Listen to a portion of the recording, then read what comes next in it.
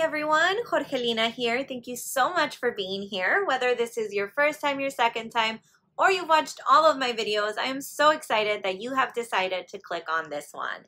Today we are going to be talking about handbags. I have a tag video. I was tagged by the amazing Dawn Loves Couture to create a video similar to the one that she just recently did, her one and done video. Um, so these are bags that I may own only one of, but I'm done with the brand or I don't consider or want to add any more of those kind of handbags into my collection. If you're interested in that kind of content, I would love it if you continued watching along if you are a passionate teacher just like I am and you're looking for some creative ways to engage your students, please consider taking a look at my teacher playlist. I'll go ahead and look at uh, link it in the description at the bottom so that you can get started on making some amazing activities with all the tips, tricks, and freebies that I include in those videos. But let's jump into Dawn's topic. So first, I do want to say I uh, did a video tagged by Actually, I don't remember who tagged me in that video. But somebody tagged me in that video, the one and not done video, and I did that tag. That was a tag started by Lo Yeye. Um, and I included some bags that I only had one of and really wanted to add more of that brand into my collection. So a bag that I, a brand that I was not done with. I'll go ahead and I'll link that video here for you to consider uh, to watch next in that video, uh, ever since I did that tag video, I have actually added another one of every one of those bags except the Naghedi one up here. So that Naghedi one I love, but it's more of like a summery um, like vibe for me. So i might end up adding one later in the summer. Um, i'll see how i'm feeling how i'm shopping when that time comes around. But every other bag that i mentioned in that video i have since added another one to my collection from that brand. Um, so i don't really have any uh, brands that i only have one bag of um, yeah, I think I'm safe to say that. There's no brands that I only own one of other than Naghedi. Um, but that is not a brand that I am done with. So continuing in that conversation, I decided to turn this video a little bit into uh, the brands that I don't consider or the brands that maybe I have owned one of and have since gotten rid of because they didn't work out for me. So for me, if a bag doesn't work, I will let it go. I am very much on the same boat that Dawn is. I know she mentioned it in her video that when I purchase a bag, especially a high end luxury bag, my intention is to keep it. It's definitely not uh, a bag that I want to sell after. It's always the intention that I am going to use that bag forever. So, because of that, I want to make sure that I tackle this in a very, very Three hours later. Very, very like my side, my point of view manner because the brands that I'm going to talk about are brands that other people love. So I really do want to talk about why they're just not brands for me and why I would not consider them at all. Um, and then I also have a couple that I am really tempted by and the reason why they are not in my collection yet. All right, so first up, and I do have a list, um, just kind of, there's a lot of writing in here, uh, but I do have a list um, of the those brands. So some brands that I consider that I don't own, and then brands that I am completely done with, or brands that I've never owned and really have no interest in. So the first one up that I have is the bags that I've sold that I only had one of that have since left my collection, and I don't intend on adding more. And the first one of that is Chanel. So I did let go of a Chanel bag and I, the reason why I just have no interest, I just feel like that's not my lane. I feel like Chanel bags are very, very pricey. I know that Louis Vuitton is too, but there's something about Louis Vuitton that brings me a ton of joy. I love using it. That is definitely my style. I like the loudness of it. I have no issues with that. And with Chanel, I feel like if I were ever to spend that kind of money on a Chanel bag, it would be a very much like a babied bag that I would use very little. And I just don't really want to do that. That is not how I want my bags to be. My intention is not to have this giant collection. I want a collection that is curated, that I use, that I love, that I enjoy using. So that's why for me, Chanel is out. It is not a brand that I would consider adding anymore. I had my little um like my little feet wet um, into Chanel. If you're interested in that video, I'll also link it in the description below or tag it up here. Uh, but I'm done with the Chanel brand. There's That's not something that I would really consider in the future. And I am strictly talking about handbags. I know that Dawn talked about like, um, like jewelry and stuff like that. I love Chanel, like perfumes and skincare. That's just completely different, but not Chanel handbags. I just don't think they're for me. Uh, the other one that I have is Bottega. And I know that my best friend is going to absolutely hate me for this. Uh, my best friend Fabian loves Bottega Veneta. That is like his pride and joy. He loves it. And I think that because he loved it so much is why I decided to get a piece. I actually had two pieces. I had a wallet that I actually sent out to him in this amazing green and it never made it to him. It got lost in uh, transit and till this day, we've never been able to fight it. Uh, because it was going to my friend, I didn't really think about insurance um, or anything like that. Like I insured it for what they claimed is that I insured it for the price of the package. And the way that we did it, because he does live in Spain, um, was that he sent me a penny through PayPal so that I could purchase the um, the um, mailing thing, the postage, so that I can uh, purchase the postage. And so they said that that's what I would get back, a penny.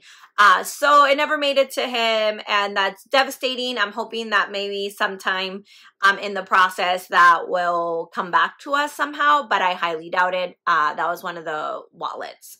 And then the other piece that I own is a piece that is now with Candy uh, to be sold. It is like a little foam pouch, and it just it just wasn't for me. I don't know how to explain it. Uh, I like loud. I do. I like loud. I like um, the monogram. I like Damier Ebene. I like knowing that what I'm carrying is kind of flashy. um, so it just Bottega just didn't didn't scratch that for me. It was just you know a little too muted for what I like to get out of my handbags, if that makes any sense. Um, and then the other two are very uh, similar. Is Valentino is one of them. Uh, that bag also went to Candy, and Valentino for me, I love to look at it. Everything that Valentino does, I just I love it. It's like the opposite of not flashy. It's like super flashy, and I really love it but it just does not go with my style. I am just not that edgy. I'm not. I'm just not that edgy. Um, and I feel like you need to have a very like edgy personality to pull off a Valentino bag. And again, that's how I feel. So I didn't feel comfortable wearing that bag. Um, it just, it, I never wanted to pick it up. So it did go to Candy, and that is a brand that I do not see myself ever adding to my collection um, again. Another one is Fendi. Um, Fendi actually is a bag that I owned. I guess no, it's not. Fendi I would consider adding more to my collection. So that's not true. But there is very specific, just one bag, uh, one style of bag of Fendi that I would love, and that's the baguette. Um, I think that's one of my dream bags. But the reason behind me not adding one is because just the resale value is terrible. It's just so bad. I bought a tote. I ended up sending it to Candy. It sat for so long until finally sold for like less than half of retail, like a lot less than half of retail. So I don't consider losing money because again, I shop for bags that I intend to keep forever. And it just, that bag just didn't work out for me. And I just don't want to run the risk of making that same mistake. So that's why I'm so afraid of the baguette. But I would consider a baguette in my collection. I feel like it would work wonderfully for me. Uh, I do love looking at it. But again, what deters me is the fact that I do intend to keep these bags forever. And if it just doesn't end up working out for me, like the other one did, I'm just out of so much money. And I really, I'm not I don't have that kind of money to play around with like that, right? Like to just kind of bet on it. Um, so I have been to the boutique and I've touched it and I felt it and I know that I love them. But again, I just buying it at the boutique, I just don't know if I would want to spend that kind of money. So maybe going in the pre-love route, if like Candy ever gets a baguette, um, I would love it. So that would be a brand that I owned, I sold, didn't work out for me. I have none in my collection at the moment, but I would like to add another piece into my collection at some point, and that would be very exclusively a, a baguette. Uh, let's see what else do I have here. Um, bags that I don't own but want to eventually own. So these are bags that I have zero experience with, but I'm really, really tempted by. And one of them is Loewe. So I really want a Loewe puzzle bag, but again, it's that price point that just oh right that's like a very quiet too it's not loud so i feel like maybe i'll end up feeling um very like a very understated and it doesn't end up working out for what I wanted to but man I love it.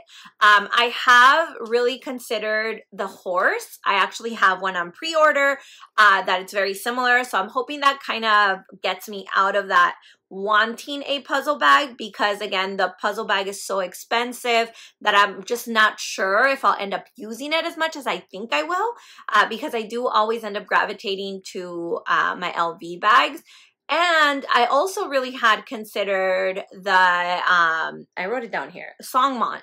So I really like the Songmont bag. I, will put a picture on it, but I did watch a video uh, by um, somehow adulting that threw me off of that bag. So it's just something that I stopped considering after watching her video. So thank you for that. I do a lot of research before, uh, even if it's on a contemporary brand on a lower price. And then I also watched a video by the leather guy, that one that like cuts up all the bags and his uh, opinion on Songmont wasn't very favorable. So it just something that I just took it out of my mind and it didn't, it automatically became not a replacement for my Loewe uh, want. But I do think that the horse might be something that I end up enjoying. So I will give that a try and then see if maybe a Loewe puzzle bag is in my future. So it's a bag that I have zero experience with a brand that I have zero experience with, but I would absolutely love to at some point add it into my collection. I wish it wasn't so hard. Like it wasn't this much money to try something out. Uh, like if I could just return it right after, like knowing it didn't work out. But that's just not how it works. I really do like to give bags a fair shot uh, before I count them off because I spent the money. So yeah, that's that's really hard for me to do on brands that I'm not familiar with. Another brand like that is Gucci. So I have had Gucci SLGs in the past and I have had Gucci bags from the outlet, but I've never had any like Gucci from the boutique, whether it's pre-loved or not. Um, my sister, uh, one of my sisters absolutely loves the brand. She has a ton of it. I am really drawn to Gucci. Like I love their monogram, but then I feel like if I'm gonna try and go for a monogram bag, I'll always end up going for my Louis. I just that's I love it. I love this stuff behind me. Uh, so that's why I haven't actually ever bought a Gucci bag. The price range is very much similar to LV, but I just again it's just that push. Um, and then also Gucci just doesn't have the same resale value that Louis Vuitton does. And again, I do buy bags with the intention to keep them, but if I'm going to play around with something and not know whether or not it's going to work out for me, I would like to get my money back if I have to let it go. And I just know that that wouldn't be the case um, with Gucci. I actually do have a video coming up soon where I'm comparing my Coach bag to a Gucci bag, but that is not my Gucci bag. It is my sister's uh, who has kindly let me borrow it to do that review and comparison. But again, uh, it's not mine, so I don't own that. And I did have a reversible tote. I've done a short on it, but that bag is now with my uh, mother-in-law and she loves it and that was an outlet bag not uh, from the gucci store so yeah i they just i'm just too afraid to play around with it but i would love to add uh, maybe in the future some uh, gucci like monogram type of bag into my collection at some point All right, another bag. This is not a luxury brand. It's a contemporary uh, brand that I don't own. I have owned in the past, uh, but that is Dooney and Bourke. So that was one of my very first loves. If you ever watch one of my really, really older videos, I talked about how that was my very first bag ever, a Dooney, um, in the multicolor print that they had, the like graffiti sketch art thing. Um, a long time ago in the early 2000s, that was my very first bag right after uh, finishing up high school, maybe during high school. I don't remember, but it was one of my first bags. Uh, obviously, I don't have it anymore. I wish I did. But the bag that I would love from Dooney, and I, I do think maybe at some point I'll get it, is the one with a big duck in it. I really, really love that bag. It just it's something that catches my eye all the time and I feel like I would use it because it's so funky. Um, but that duck bag is definitely something that I don't own. I don't think I have enough experience with the brand because it was so long ago when I owned it and I wasn't really like into handbags. It was just something that I thought I was super cool owning. uh, but I didn't really know a lot about it. But after watching people like Jackie or like AKB Bags, who's just so love the brand, uh, it really, really makes me fall in love with their type of leather and how luxurious it is. So that duck bag is definitely something that I will at some point, I think at some point I will add into my collection. Um, another one, this is like a both yes and no, and that's Hermes. I there is no way that I would ever 100% a bag is just not something that I would ever hunt down.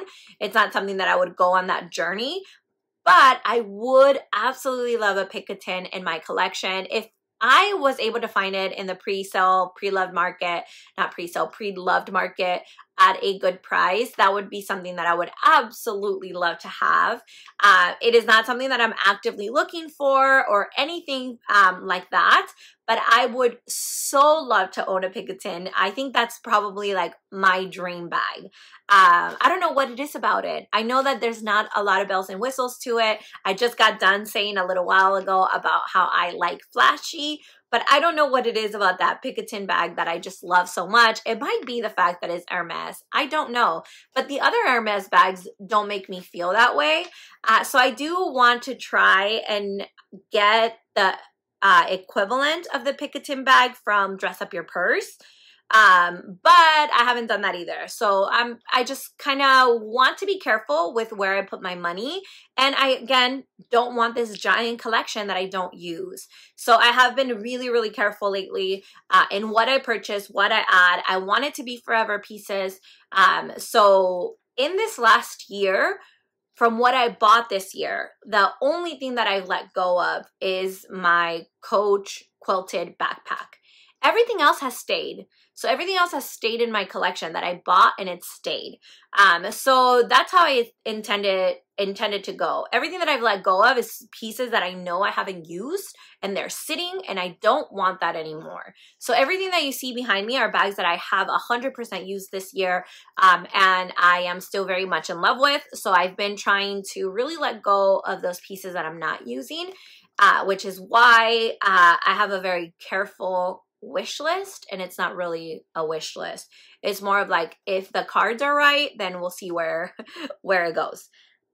All right so now these are my zero interest never been into uh they just a bag that i know won't work for me not at all. And this will be my last little piece of the video. And we talked about Hermes already definitely zero interest in quota bags or anything like that. It's just not for me not in my price range not right like it, it's just something that I don't even dream about, right? It's not even, I feel like even if uh, it came to a point where I had that kind of uh, income to just use on a bag, I just don't think that I would on those bags. They just don't tickle my fancy. I don't know what it is. I they're just not for me. I don't I like looking at them on other people, but I just don't feel like I would um, love carrying them. Um, yeah, so another one is Dolce and Gabbana. There is absolutely nothing in their um, just brand that I've ever actually liked. Uh, looking at it doesn't give me any like warm and fuzzies like Minks for All says. I just it's not something that calls me at all. So there's really, I could really say there's nothing in that brand that has ever like caught my eye and made me say like, hmm, I might consider that bag. I don't know what it is about it, just not my style. Um, so definitely not something I would add to my collection. Um, the other one is the B word that nobody wants to say anymore. Uh, again, something that has never been my style. I have enjoyed it on other people, but it's just not something that I would add to my collection. Um, even the ones that are like more understated, I just feel like they're not for me. Their uh, brand tends to be way too loud for anything that I would ever want to bring into my little sanctuary. So that is definitely a bag, uh, a brand that I won't consider for X, Y, and Z. Uh, wear whatever you want type of deal, but that's not something that would come into my collection. And the last one, oh, I have two more. Dior. Dior is another one. Love, love, love, love, love their skincare and all that stuff. But their bags, just not for me. The Lady Dior's that go everywhere, the totes, the I just they're just not for me. Um, I feel like the Lady Dior looks like the most uncomfortable bag I've ever seen in my life. I just feel like it would not be functional at all. It's hard and like hard looking. I just that is just not a bag for me. I don't care that Princess Diana wore it. I don't care where it came from. It's just not a bag that uh, you would ever see me carry at all. And then the other one is the saddle bag. I love looking at it, but at the same time, it looks like a kidney bean to me uh, or just a kidney. I just not something that I would consider uh, carrying. I don't know what it is about it. It really does look like a saddle and it's just not for me. I'm laughing because I know my best friend feels the same way about it. I just don't get it. I don't get that bag. And I'm so sorry if you love it. I really am. And when I see people carrying it, I do think it looks really cool. I like, I again, edgy. I like how it looks with outfits, but I would just feel so silly carrying that thing around. Like the shape is just not something that I feel like would be functional for me at all at all, at all, at all. So definitely not a bag I would consider um, owning at all, ever. Um, so Dior is 100% out for me. I was liking the Dior totes. I like looking at those, but I'm a tote girl. But again, they just look really heavy to me. So um, not a bag that I would consider really bringing into uh, my little sanctuary um, ever. And the last one that I have here is Versace. Uh, it's just not, again, not a brand that I feel like would be for me at all, ever. I don't like it. It's, that is another level of flashy for me that is just not for me. So I've never seen anything in their stores that have caught my eye, whether it be the outlet or the regular store. It's just not a brand for me. So that's it. Those are all my bags. I know that's a lot of talking. That's like nearly 20 minutes of me just blah, blah, blah, blah, blah, blah. So thank you for being here if you've been here um, that long. I also did want to share. I know I said that I was going to talk about the update of the necklace from She Said Yes. Um, this is not a sponsored video. I already did my sponsored video with them, but I will still have everything linked in the description because this necklace is working out so great for me and they are having their Black Friday sale already. I really want the matching earrings. I'm really enjoying using this. It's not giving me a rash like I talked about in that video. So I am 100% just loving this necklace. Um, I have taken it off to shower and stuff, but I do put it right back on. I've really, really enjoyed carrying it, uh, using it, and um, I feel really nice with it on. I could hardly feel like it's there, but then when I'm like walking in the mirror or I take a picture and I see the little sparkle, I really, really, really like it. So just wanted to give you that uh, quick update on it in case you were interested to see how it's working out for me. I can't wait to see you on the next one. Thank you so much for being here. Please consider subscribing, liking this video, and keeping the conversation in the comments. I am going to tag some people in the description. If you would be interested in doing this tag video, I would love to see which brands you are done with or have never considered. I hope to see you on the next one. Bye!